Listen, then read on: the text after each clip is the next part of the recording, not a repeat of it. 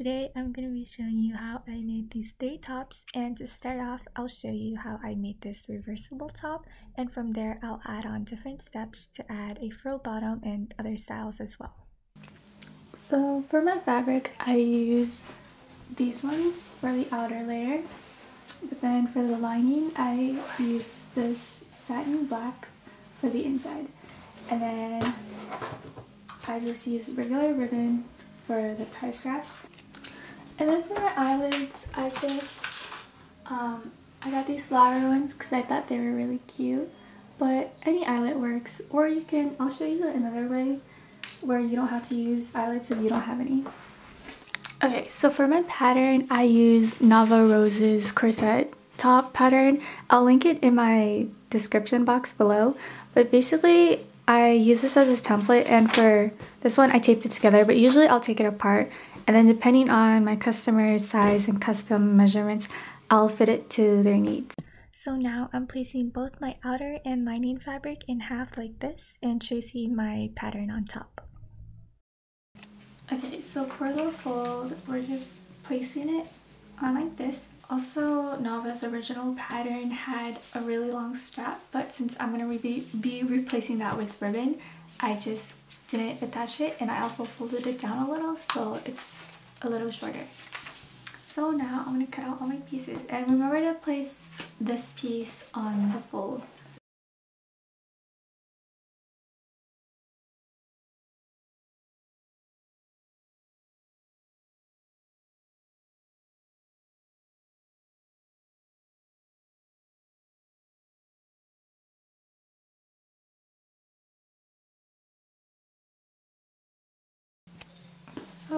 now I finished cutting out one piece and when you open it up you're gonna have this whole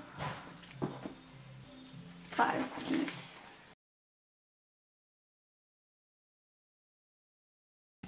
And now I'm just gonna do the same thing to this one and this one.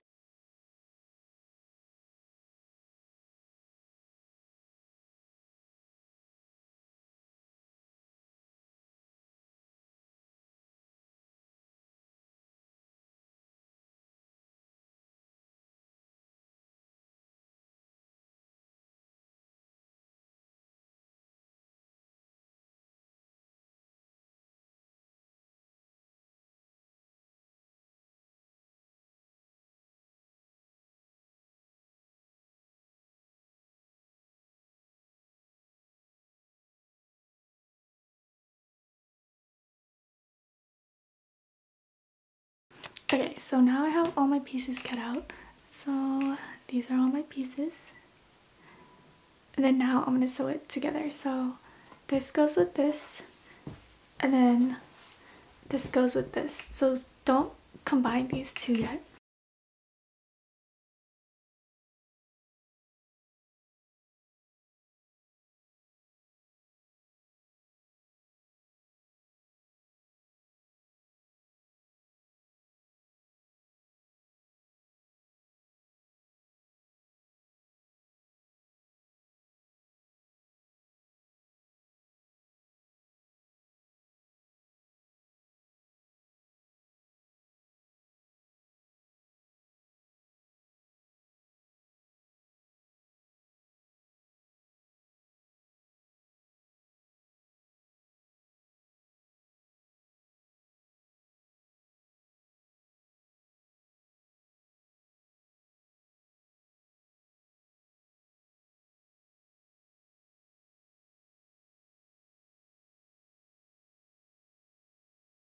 So for my sewing needle, I use my smallest size needle since satin, if you use like a big needle, it does puncture a hole.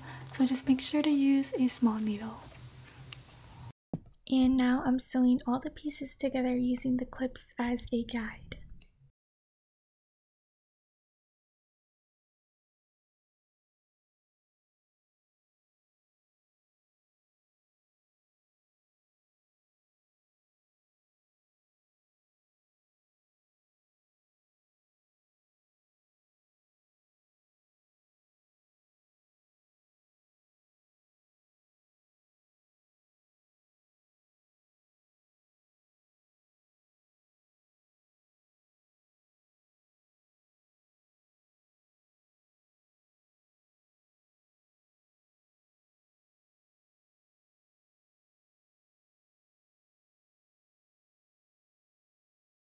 I'm also doing the same thing to my inner layer, which is my black satin.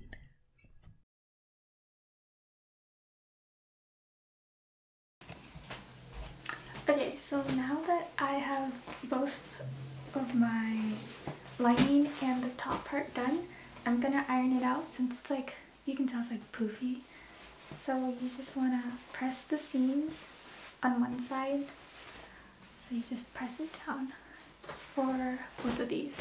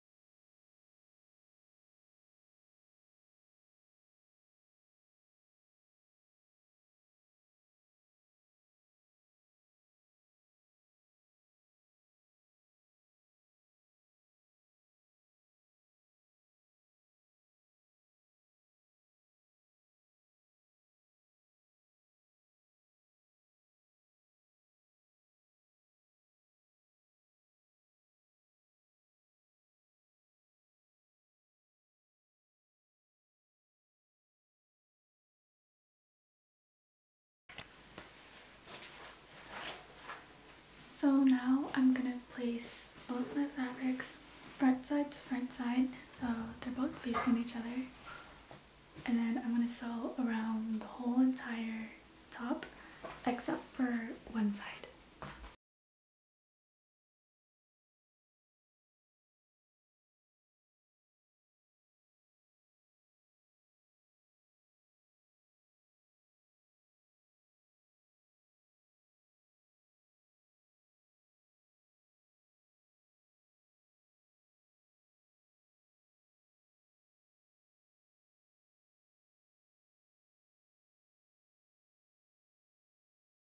So now I cut slits at the top of the shirt so when I turn it inside out there wouldn't be any bumps and afterwards I began to turn it all inside out using that one side that we did not sew close.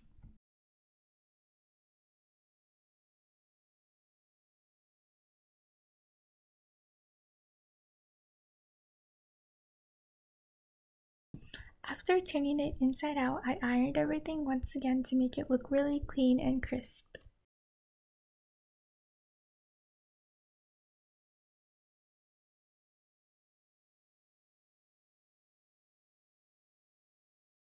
And now I'm cutting out two 16 inch strips of ribbon for the straps to add on when we top stitch the edge of the whole top and I'm making sure to fold in the raw edges of that one side that we didn't close off earlier just like this.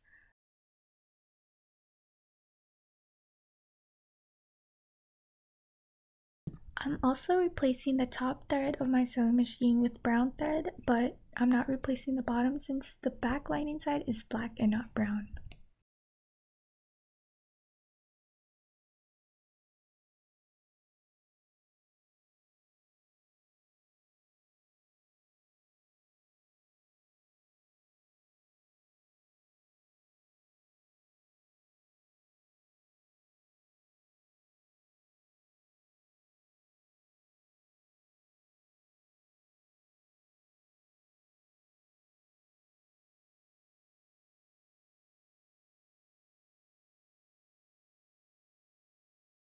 So when I get to the top of the straps, I'm taking one of my ribbon pieces and placing it inside the top, making sure to tuck in the raw edges of the straps.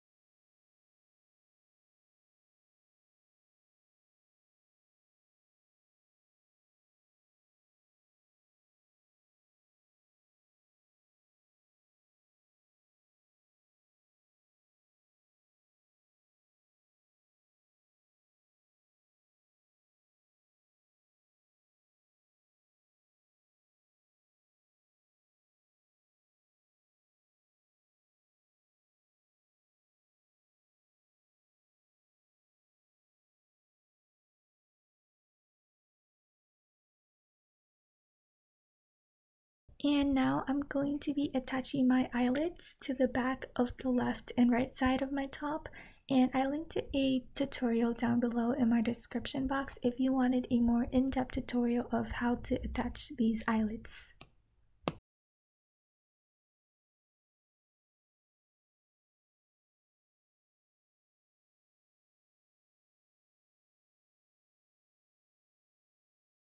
And now I'm cutting the ends of my ribbon to create a nice finishing touch and lacing it up.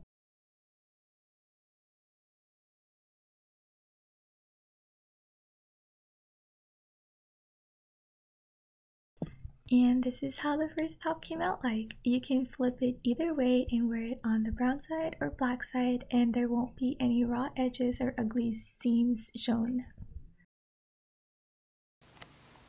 Okay, so now for the ruffle part at the end of the corset, I'm going to be cutting out a long piece of rectangle.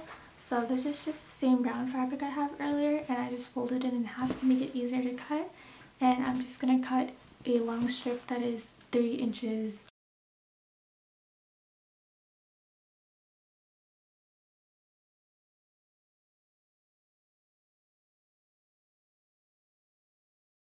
Now I'm folding in the raw edges twice on all the sides so that the edge doesn't fray and I'm sewing a straight stitch all around.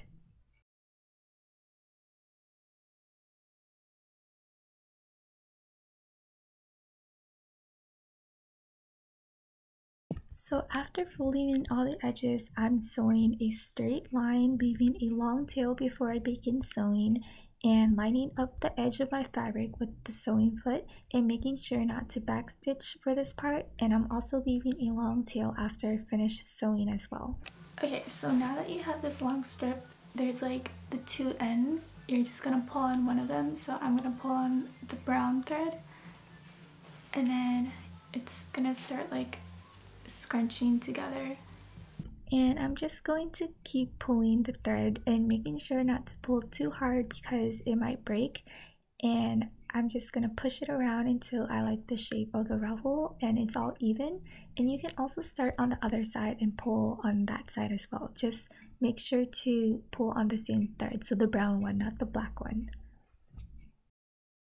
So I kept on ruching it together until it was long enough to fit around the whole bottom of the top. And if you find that the ruffle is too small, you can just pull it apart until it's long enough to fit the bottom. And now the last step is to attach the ruffle to the bottom of the top. So I just laid the ruffle flat, making sure it doesn't twist weirdly. And I'm just going really slow, sewing it down.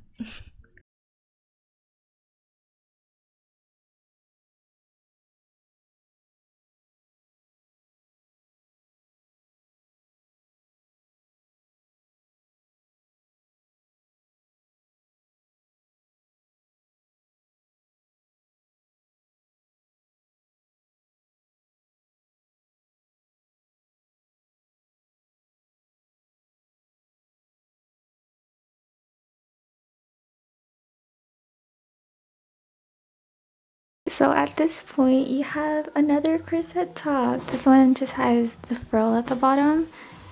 And you can also leave this as a halter, but I'm going to add more ribbon and then show you another style. So I'm just taking the same ribbon as before, cutting out two 16 inch strips. And then again, I'm to cut the ends so they have a nice bow shape.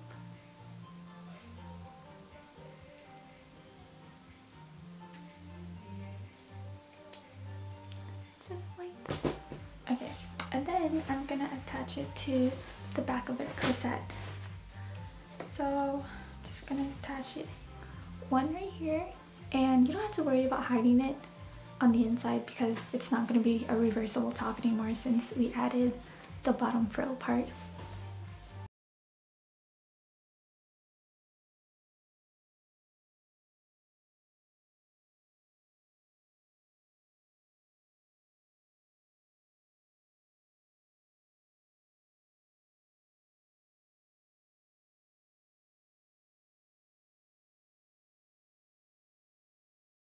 And this is the finished top. So for my last top, I lost most of my footage where I sewed all the pieces together so it doesn't really make sense.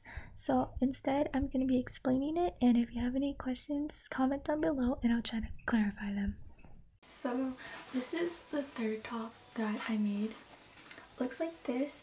So basically I did the same exact thing as the other top but instead of the bottom I replaced it with this lace. This is what it looks like. I got it from Joann's and basically I just um, sewed it around the edge of the top and then instead of cutting the pieces up on the pattern I just made it one long continuous piece so there's no seams. And then for the ties, I use this, I think it's organza, I'm not really sure. But I got this fabric, I cut it up into super long strips and then I just made a tie bow. And for the back, so this is how it looks like. So this part right here, how I made like the little loops for it to go through, I just took like a piece of long strip, I twisted it like this, and then I just folded it and then I sewed it down. And that's it for this video. I hope this inspired you to make your own top. Please like, comment, and subscribe if you enjoyed this video. And my Depop is linked in my description box below in case you want to buy any of these tops.